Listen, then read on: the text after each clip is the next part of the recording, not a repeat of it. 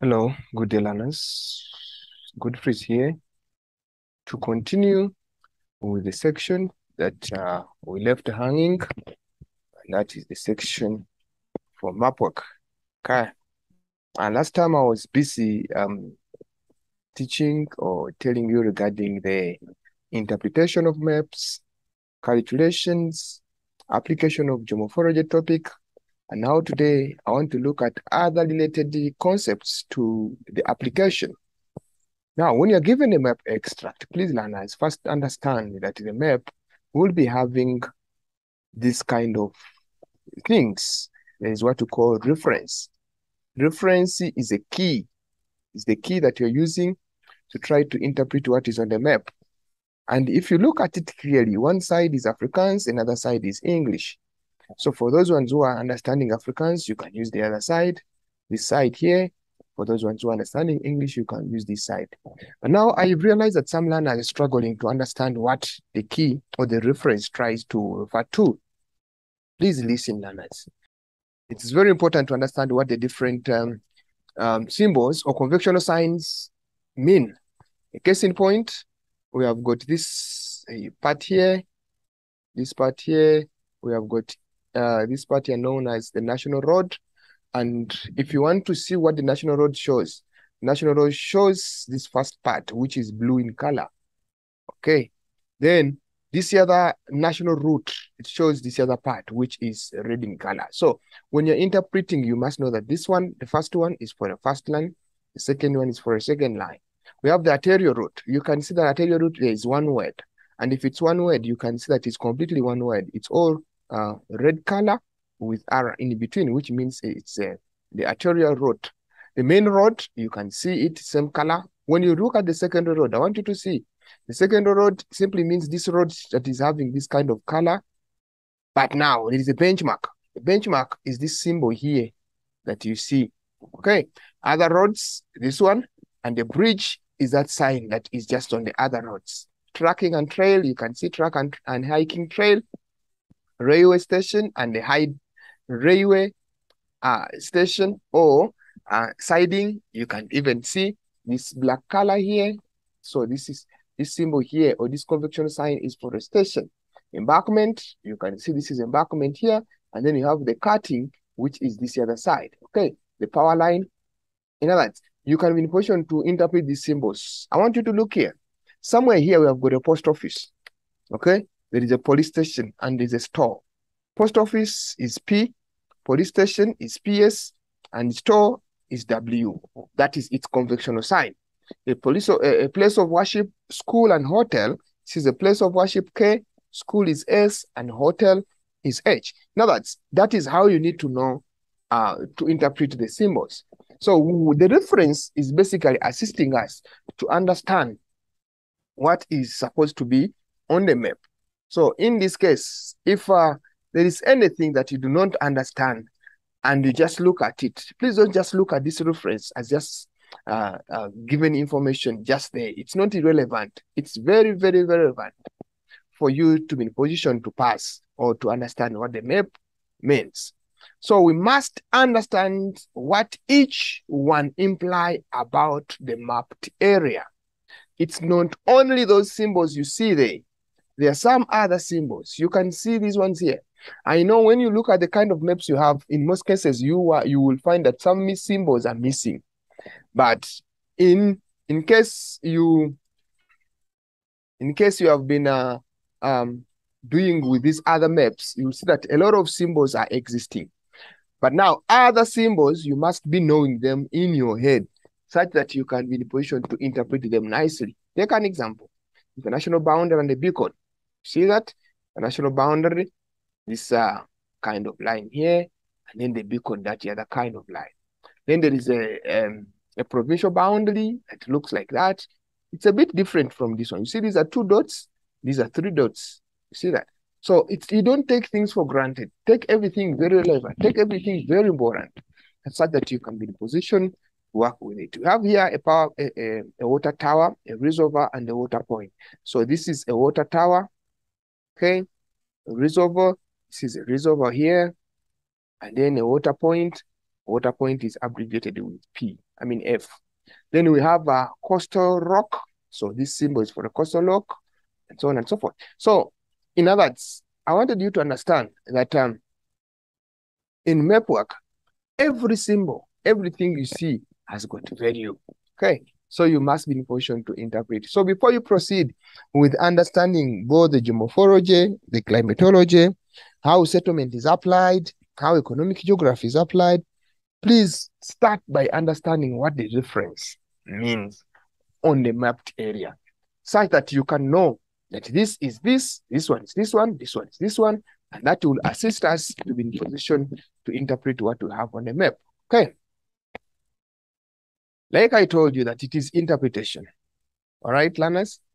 It is interpretation. With interpretation, we must make sure that we apply all the theory that we have learned so that it can be seen on the map. Take an example. We have looked at the aspect, valley winds, climate, slopes, landforms, settlements, land use, and all that. So we must be in position to interpret all those aspects on the map. Okay, so I want you to look at this. What do you see here? Here, you can see the issue of aspect, valley winds, climate, you can all apply it here and settlement by just mere looking at what each part is meaning. Take an example. Okay, that uh, when you look at um, this kind of map, um, and when you check somewhere here, you can see that the contour lines here depicting that this part here is steeper than these other areas, which is basically a slope, a steeper slope here compared to what is happening this other side. Okay. Then here is a protected area, natural protected environment that can be uh, a game park, a game reserve, and so on and so forth. So you must be in position to interpret that. When you look at this one, what do we see? In terms of drainage, you can see that this is a high-lying area. So these rivers are all draining outwards, which forms a kind of a pattern drainage in, in geomorphology that we call dendritic drainage pattern. And when you check somewhere outwards here, it's lower than what is happening here. Okay. Now, you can see this part here, I want us to be in position to interpret the economic activities. What do we see? When you see this, this is showing the cultivated land. Okay. And if they talk about the cultivated land, what do you expect? You expect activities like agriculture, you expect activities like uh, farming, and so on that is likely to take place in that area. And to make it uh, to, to make it easy uh, easy to understand, you can easily interpret that this um, this cultivated land is basically located close to the dams, near the rivers and the furrows, meaning that they can easily have access from the dams to these farms and they use it while uh, practicing uh, agriculture. Okay. Besides that, there are some other activities that we can look at here that we can think of. Take an example. If you see here, this is uh, an excavation, okay? That means there's some kind of mining taking place. In that case, okay, then you can also look at this place, that this place has got mining being practiced. Take an example. We have what we call the um, Western Platinum, okay? Western Platinum mines, meaning that there is mining taking place in this area. In other words, this one can help us to interpret the economic activities that are taking place in this locality. Okay. Now, we go ahead and look at the aspects. All these ones are application are applications or interpretation of uh, theory or map work with uh, the different um, topics that we look at in geography. So, like I told you that all aspects we look at are applicable. Landforms, microclimate, farming, recreation, conservation, and so on and so forth. So when you check here, what do we mean by conservation? This is the uh, basically the using of uh, the protection of the environment or preserving of the environment for future use. When you take uh, this area here, eh, uh, Magaliesberg, protected natural environment. So Magaliesberg protected natural environment is basically a conserved area, meaning that conservation is taking place here. Okay, when you see the cultivated land, what does that mean? Maybe there is farming taking place here.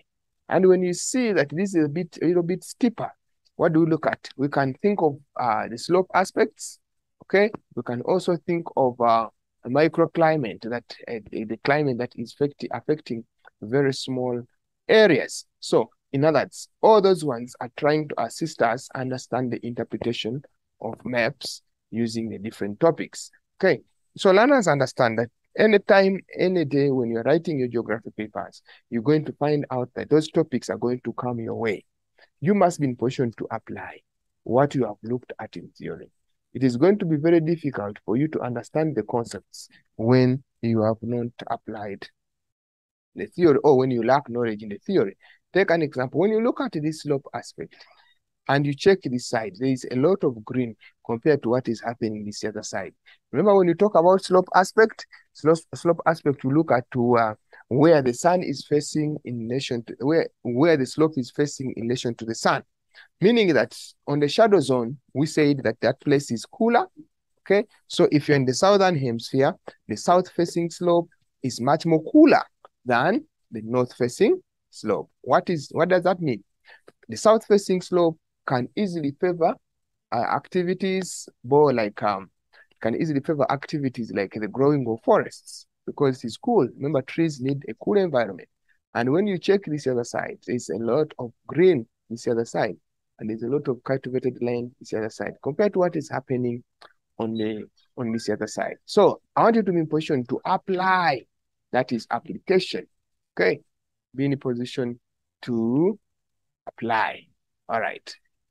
Now, um, we can also apply other topics. Both settlement, here we have what we call the shapes of settlement, landforms, land use, and topography. When you check around here on the maps, what do we see? We talk about the shapes of settlement. How many shapes do we have? We have a lot, we've got a lot of shapes. For example, the linear shape, okay? That is when the settlement is along a line. A line like what? Like a road. A line like what? Like a railway line. A line like what? Like a river. So in this case, if you see a, a road like this, and there are settlements along the road, which shape, which settlement shape is more likely to be formed if it's along a line of a road? Okay, the line feature that would be there will be a road. And if you see this road, that means you will know that the kind of settlement shape is um, a linear settlement that is taking place. Okay, so besides linear, we have got what, we call the star uh, shape. Beside the star, we have got another shape like that is a, a circular shape. That is, for example, when the settlement is around um, um, the, the, the circular features like mountain, like lakes, and I understand. We have also what we call the semicircular shape. For example, at the coast, at the coast, ocean side, you'll find that kind of settlement. Okay. So if they ask about the settlement pattern, what do you expect? Settlement pattern, I will look at the layout of settlements in an area. And you find out that it's either nucleated pattern or sparsed. Okay. Nucleated or sparsed. If it's nucleated, simply means when the settlements are within one area. If it's sparsed, when the settlements are spread. So what will you see? You'll find out that there are some areas where you see a lot of settlement Actually, you must know that these are settlements here. So if it is concentrated in one place, it's nucleated. If it is dispersed, or it, if it is they're spread away from each other, it is um, dispersed. Okay. Now, besides that, learners, we have also the interpretation in relation to the settlement types. Okay. We say the settlement types, that is rural or urban settlement. Then besides that, we have the settlement pattern, which we said that it is either nucleated pattern or or nucleated, which is the same as clustered, or dispersed, which is the same as spread uh, pattern. Then you have the street patterns. When we talk about street patterns, what do we see? We're looking at the way the streets are being arranged. Okay. And in this case, what do we see? Look at these lines. We know that in our settlement, you must have looked at what they call Okay, in terms of settlement pattern, said we have uh, nucleated.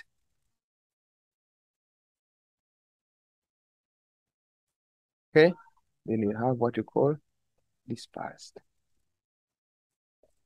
And we'll talk about nucleated settlements close to each other. Then here is settlement far away from each other.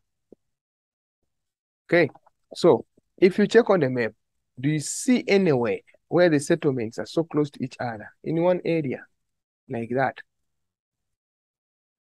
So that one is going to form a nucleated settlement pattern.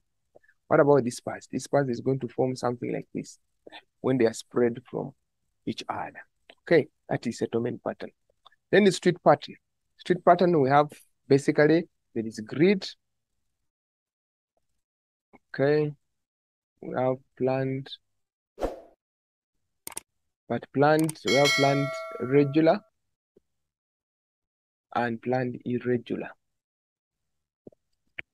Okay, then in this case, if it's gridiron, it forms kind of grids, squares, straight, and normally it is one way. So when you check around here, what do you see? You can start list here where they form a grid pattern. See that? Okay. And see maybe around here forms a grid pattern. Okay. Then these other ones, like this one, is planned irregular. Then you have that one that is not having a proper shape, where the settlements are just spread out. The, like um, the, the, the roads are just put anyway. So that one is irregular. But when you check there, you'll see that there is one which is planned, there is one uh, which is grid, and one which is uh, um, irregular or planned irregular and planned irregular. Check here. This is a very good example of grid street pattern. This is a very good example of grid street pattern. It's a very good example of planned regular.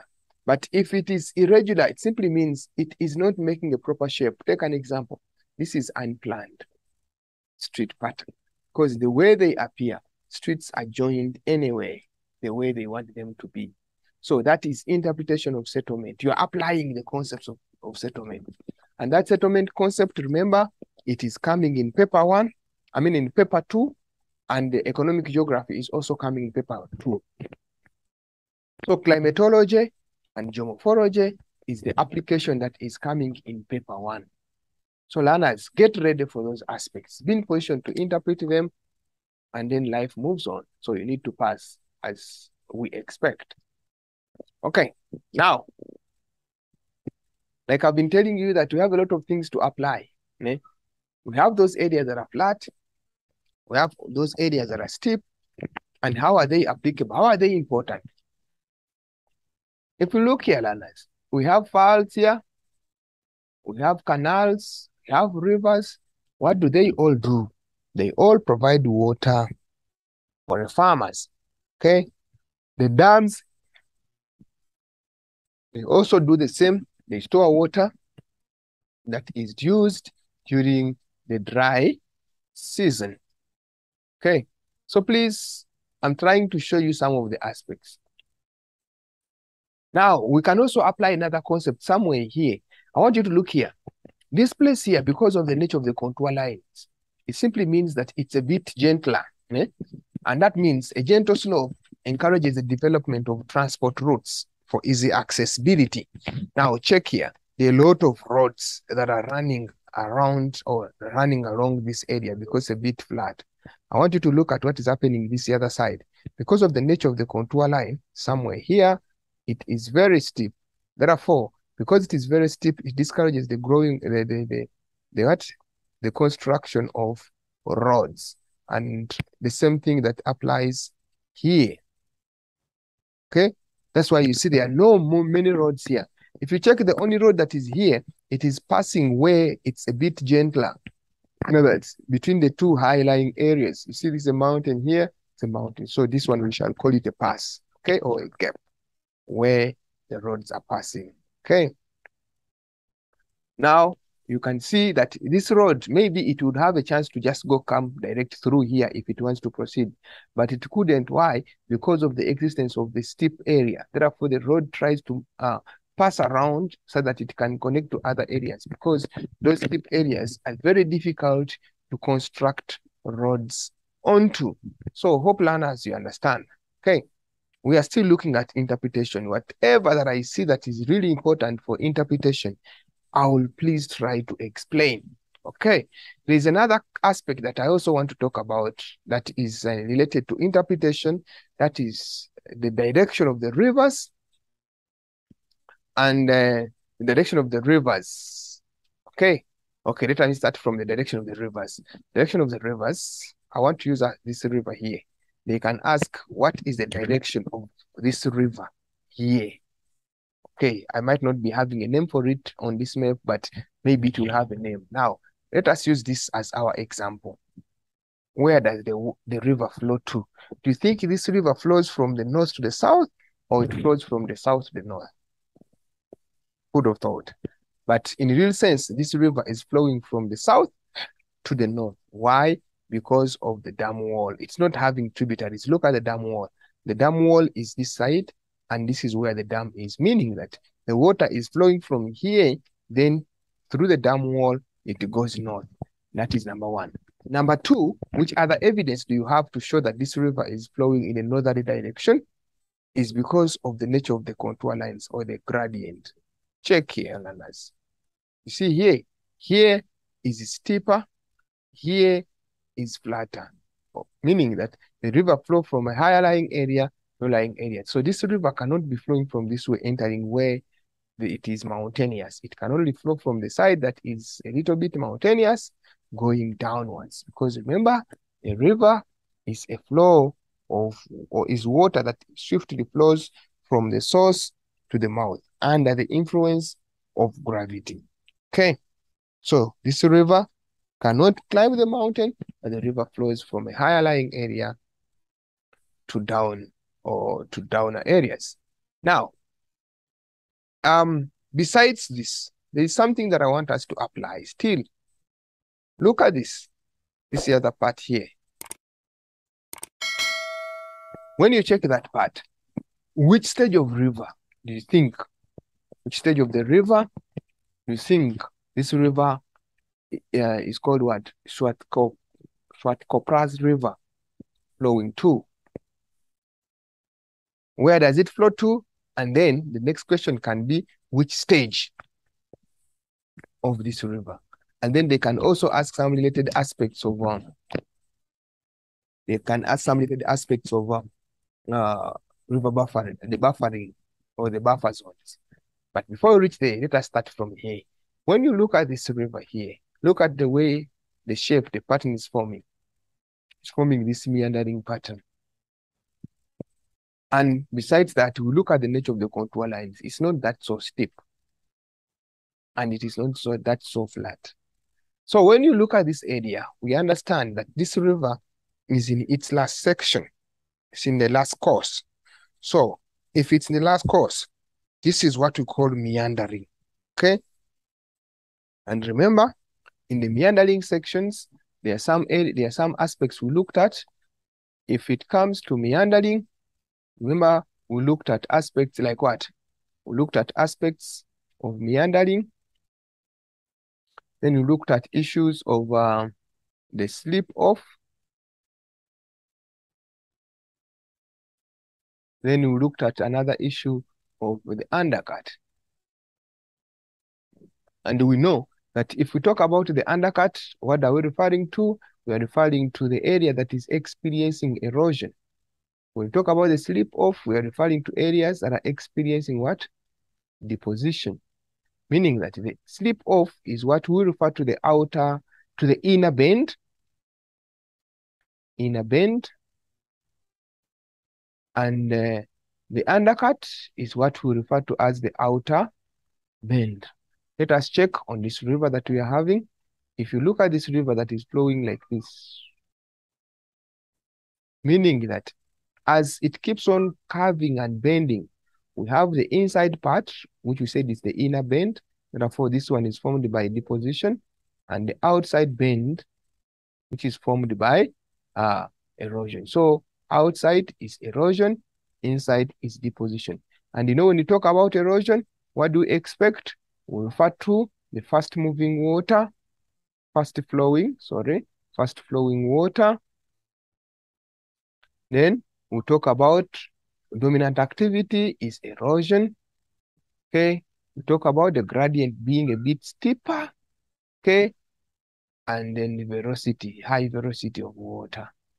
Then when we talk about the inner bend, what do we expect? Gentle gradient. Here, here, you expect a gentle gradient. Okay. You expect aspects of deposition,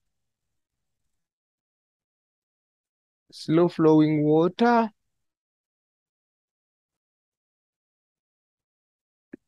slow flowing water, and then um, ah, less velocity.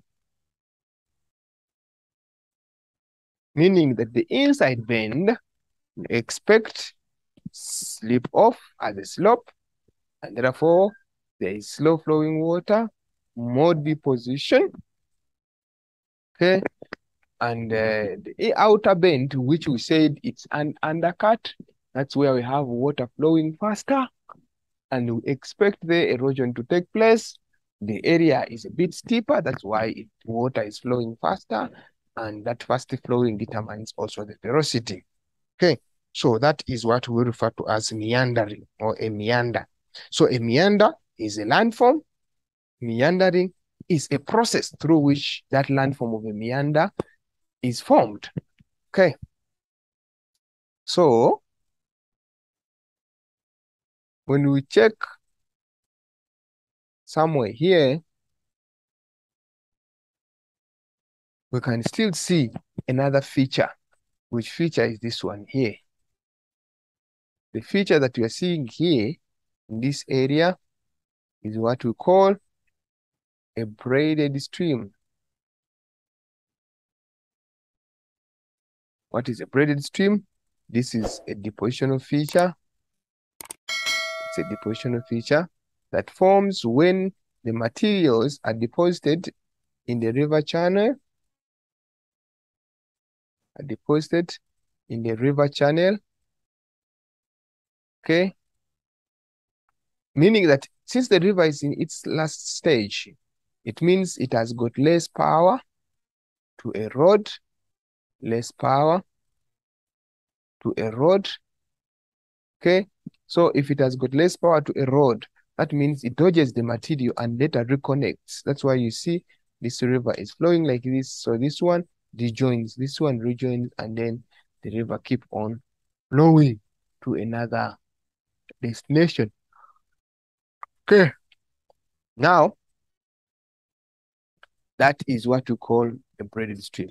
So the area that is adjacent to the river, this part here, is what you call a flood plain. Okay, is what you call a flood plain. So learners, you can be in position to interpret those aspects. You can see that somewhere here is flat. That's why you see the area has got even the marsh and vlei because the area is flat. It's having a lot of water that is sitting in that area. Okay. Remember, learners, don't forget, we are still looking at interpretation. And I am trying to um, to put all the topics in the geography syllabus all together so that we can see how can each concept or how can the, the concepts be ap applied on what? On the map. Okay? If you see anything that is that you're not understanding, please feel free to um to to ask questions or to leave a comment. I'll be in position to answer you. Okay, but in preparation for exams, please take note of everything and let us try to, to pass. Okay, now besides this, there are some other interpretation concepts that can be applied. Take an example. There is this area here that is a bit far away from the residential areas. Okay, this area has got very big buildings. It has got even the silos. What do silos do? Those are the ones they use to store agricultural products or food. Okay. Now, when you check here, you will find out that they are very big uh, uh, settlements. Yeah, they are very big buildings here. Okay. These buildings, we can term them as industrial areas. And we can, is, uh, what do we remember when we're talking about the industrial areas? First of all, industrial areas are meant to be far away from, from the settlements because of the noise. Okay.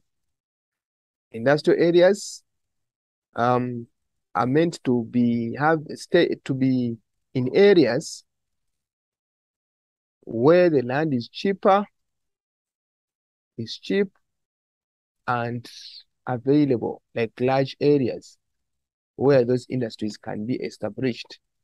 Okay, it is established close to the roads or communication lines. Okay, which you can see that there is a road here that is going, there's a road, there's a road, and so on. Meaning that this industrial area is basically, this area is basically an industrial area according to the interpretation of the diagram. Okay, now,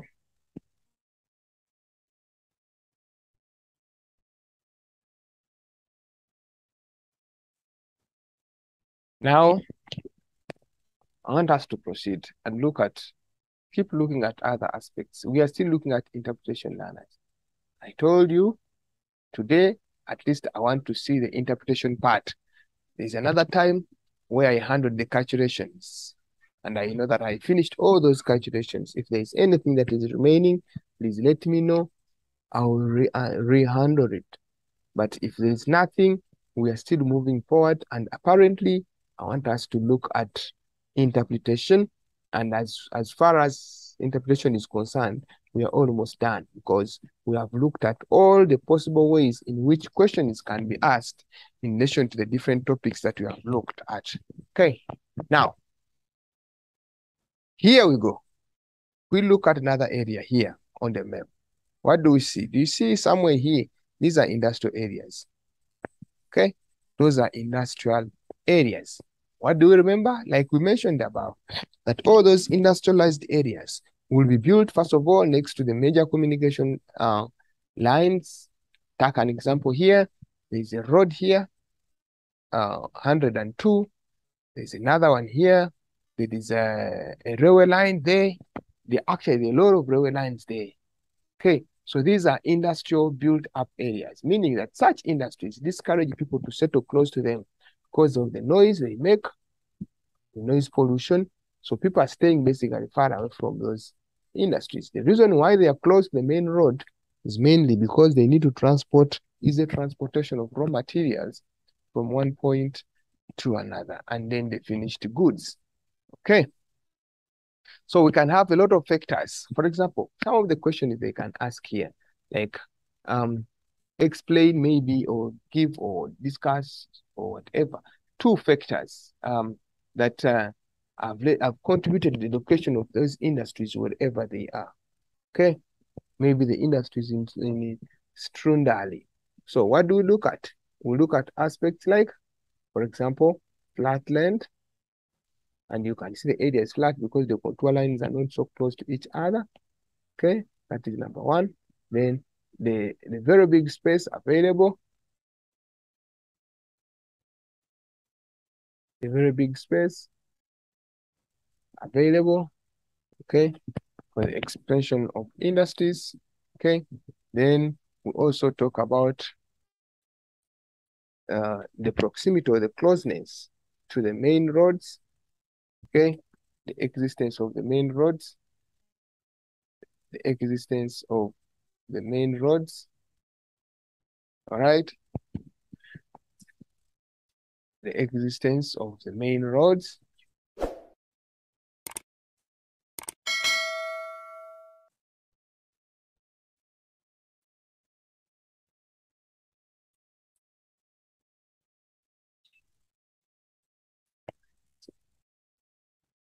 So those questions can be asked that what are the factors that have contributed to the location of these industries wherever they are?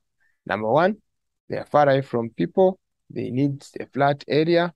Um, they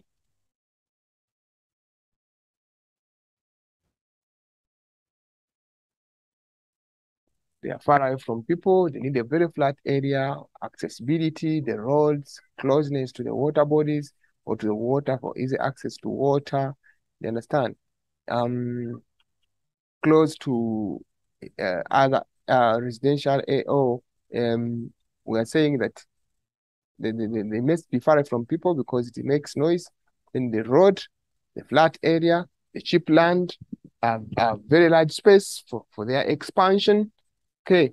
And therefore, we also talk about the capital that is uh, basically needed from the nearby um, people or the cheap labor that they can easily access. So you can see that here is basically a developed area. Okay, it's more of a well-developed area here. Then here is an industrial area. What do we notice here? That industrial areas are located and on the outskirts of the city, far away from the people. Okay, and it is exactly depicted here. You can see these are settlements around here. This is an, a developed town or a well-structured town. And then you can see that the settlements or the industries are a bit far away from, from people. Okay, now those are some of the aspects and we can talk about there. Okay, now, uh, I've already talked about these aspects of conservation, sorry, the aspects of conservation and the flow of rivers. Maybe here, I for uh, after seeing this, I've remembered. Here we can tell another the way we can another way we can tell the direction of the river is by looking at the, mm. the angle at which the tributaries are joining the main river. Now let's check here. This one is joining this one like this. So it is flowing to that extreme end. This one is joining like this. Okay, so it is flowing this way. You can see the way at which angles are joining. The rivers are joining others. You can see this one is joining this one, and then it flows downwards meaning that these rivers are flowing towards this other main river. And when you look at this nature of the river, there's another river there. So how does this river flow? How is it flowing? You can see it's basically flowing towards that direction. So it's flowing towards this direction. Okay. So the angles, you look at the V, determines the direction to which the river is flowing to. Maybe another concept that we can apply here is the concept of the stream ordering. We look at stream ordering, we look at the independent streams. For example, one and one, it makes two, one and one, it makes two, one and one, it makes two. In other words, these are all second stream orders, but we shall understand that clearly when you look at another clear diagram. Okay, now when you check here, you can see uh, other symbols. Now, if you do not know what the symbol means, this is the, uh, the right time for you to know. If you still don't understand what this symbol means, what this one means, what this one means, and so on and so forth. So you must, now this is when you look at this symbol, you go to the map, and then check, okay? And then you check, and then you will understand that this symbol means this, this one means this, and this one means this, okay? All right. Now, this is another uh, another map that is trying to give us another clear view of the interpretation. You check that. You see that this river, River Croti here, Groti this, this river, this river is flowing in this kind of shape. So this kind of shape, we call it what? What we call a meandering river. So when you check this river, this river is meandering. So this one, if um you remember the meandering process, say this is the curving and the bending of river. It happens in the lower section or when the gradient is bit gradual or flatter. And when you check here, this kind of gradient is the same. You see? So this river is flowing, curving and bending like that. Remember, inside one is slip off, outside is undercut. So we said outside is all is is um steep slope, inside is a gentle slope. You can even see here the nature of the contour lines out here is basically depicting a steeper area compared to what is inside here. So that is application of uh, another concept. Now that this is now trying to assist us to get to know more other maps. How can it appear? Please, learn has been positioned to tell how it appears. Okay. If uh, you remember in your settlement, you must have looked at this kind of uh, settlement pattern. Okay, this is what you call a radio settlement pattern, a radio street pattern. Okay, radio means when the roads are radiating or connecting towards one central place. Okay, if you check here, this is a road, this is a road, this is a road, this is a road, basically a cobweb. Okay, it forms this kind of cobweb. So this kind of uh, um, of, of settlement or the nature of the streets, the way they lay, is determined by the main roads that are connecting the main central place. So here is a central place, which is going to be our now CBD, that is having many openings of the roads from the nearby surrounding area. So those roads are all connecting towards the one central place. Okay, so this one forms what we call a cobweb kind of settlement or street pattern. Okay, other activities, other interpretation that we can look at for the mine dump. You can see the DPR, you can see the roads, okay? You can see the roads here, okay? You can see the development of the town. You can see mining taking place around here. You can see drive-in theater, meaning that there is entertainment taking place. So in other words, there are a lot of things that we can interpret on the map. There is a mining museum, which now indicates that if it's a museum, it's basically promoting culture there. Okay.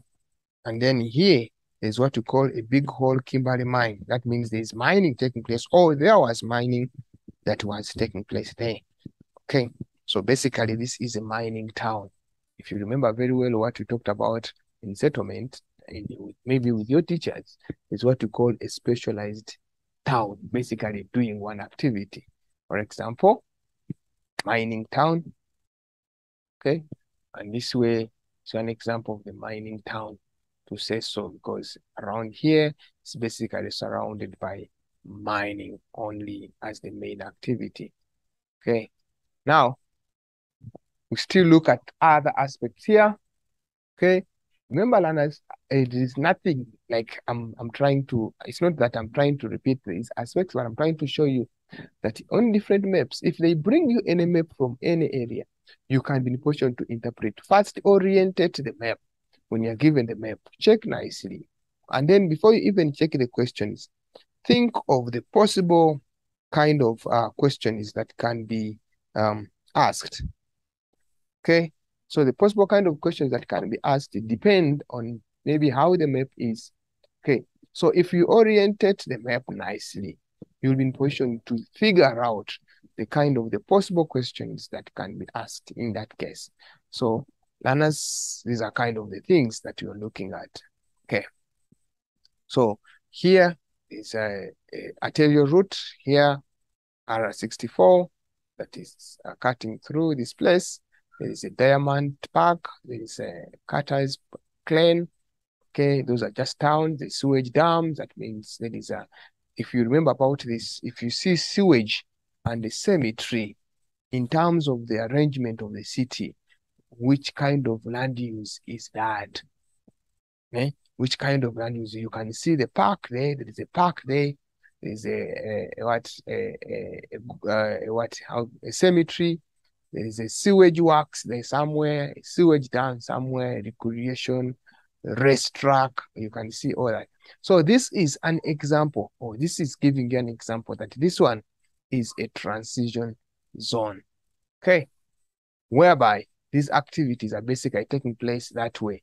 So you know sewage is set is always far away from people because of the smell it gives. This one requires a very big space, the cemetery. This is a racing track. It also requires a flat area and a bit far away from people. So in this case, you get to know that if you are interpreting, they can also ask such questions. Identify the land use in a certain block, let me say C1 or B1 or C2, remember, it will be visible on the map. So in this case, you look at the possible activities taking place. If it's a central place, or if a CBD, which is, it must be lying in the center. So if it's a CBD, it must be lying in the center, number one. If it's a CBD, it must be connected by other routes towards that central place that is connecting to it. Okay, then the developments that are going to be taking place around it. Then we have a transition zone. We have rural urban fringe. Okay, the rural urban fringe. We have the rural areas. Actually, this one should be rural urban fringe. Okay, rural urban, not a transition zone, sorry, rural urban fringe, because a transition zone is the area that has got mixed functions. Some um, some houses uh, appear to be of a township area or of a township character. Some other houses are tall, some other houses are short. So mixed function is taking place there. And no transition zone will have a lot of uh, uh, that kind of art there, shading on the walls and all that and all so on. So in this case, sorry for that, this area here, the land use around this town here, it should be a rural urban fringe. So learners, I want you to note that when they talk about rural urban fringe, please remember you must know that the area should have at least any of these activities. Number one, sewage terms, sewage works, a cemetery, a golf course, a landing site, uh, a track, a race track, all those kind of activities are taking place in the area that we call a rural urban fringe. Okay. Now, which is the dominant activity taking place here? If you look at it, eh? if you look at it, what do you think should be the dominant activity? Okay, there are a lot of reservoirs, there are a lot of furrows, okay, which is basically transporting water, row of trees. You can see the row of trees that are built around the water areas. What does that mean and what does it imply? You know, trees provide shades to the crops. That's number one. Okay, trees helps to shield the crops from the very strong winds that are likely to affect the crops on the farm. So if you see the rope tree, think of the advantages. If it's around the crops, what could be the advantages? Okay. And now when you check this area, you can see it's a bit flatter. That means it can easily favor agriculture. And the flat area also favors easy flow of the drainage systems, the rivers and the water when they want to irrigate this area around here or the crops around there. Okay, there are a lot of reservoirs, there are a lot of furrows. So when you look at this area, you can see that this is dominantly an agricultural settlement where agriculture is mainly being practiced. Okay. Now you check another area here. It's a bit flatter. So it's a low-lying area. And what do you expect? There are a lot of roads that are connected there. Okay. And then uh, a lot of uh, uh, what you call um, uh, seasonal rivers. You look at this. Maybe I also forgot to mention that while in, looking at interpretation. When you talk about uh, seasonal rivers, it must be a blue line, but broken line, broken dotted line. So it's going to be seasonal or non-perennial river, okay, or periodic river. So if you see it broken or dotted line, just know it's non-perennial river. If you see it, um, let me check compare it with another one that is maybe um, you look at this one. When you check this river here, it's giving us an example of what we call a permanent river. What are permanent rivers? Those are rivers that are flowing throughout the year where the riverbed is always under the water table, both during the dry season and the wet season. So meaning that relationship between the water table and the riverbed uh, is always, the water table is always above. So this river will be flowing throughout the year. So that river, how do you identify it on the map? You identify it on the map if you see it uh, with blue line that is continuously uh, existing. Take an example. If this was blue like that, it's going to indicate what we call a permanent river. But if it's a broken line, like this one, like this one, blue but broken line, we call it seasonal river or non-perennial river. So such areas are having such non-perennial rivers. Okay, and the last thing that I want us to look at is this part here on the map. Um, this part here, you can see in terms of its gradient, it is a very flat area. Depending on the nature of the contour lines, you can easily see them. You can even see the way the water is uh, existing. Like there are a lot of several pockets of water that is um, colonized within one area. and that means that area is a bit flatter. So hope learners, I have not left out anything related to interpretation. So please get in position to be in position to tell in summary or in a nutshell, be in position to tell how all the topics you have looked at, both in paper one and paper two, how can they be applied on the map? Everything that you look at is very, very, very important. It's very, very important in order to apply it on the map. If there is anything that I have not interpreted for you, please be in position to leave your comment, be in position to to to to to to let us know that you really need that aspect and we shall be in position to handle it nicely. Okay, but all in all, that is what I wanted to show you regarding interpretation. That's what I wanted to reflect to you in relation to interpretation and uh, all is done nicely. Thank you so much. Thank you for listening and thank you for watching. See you.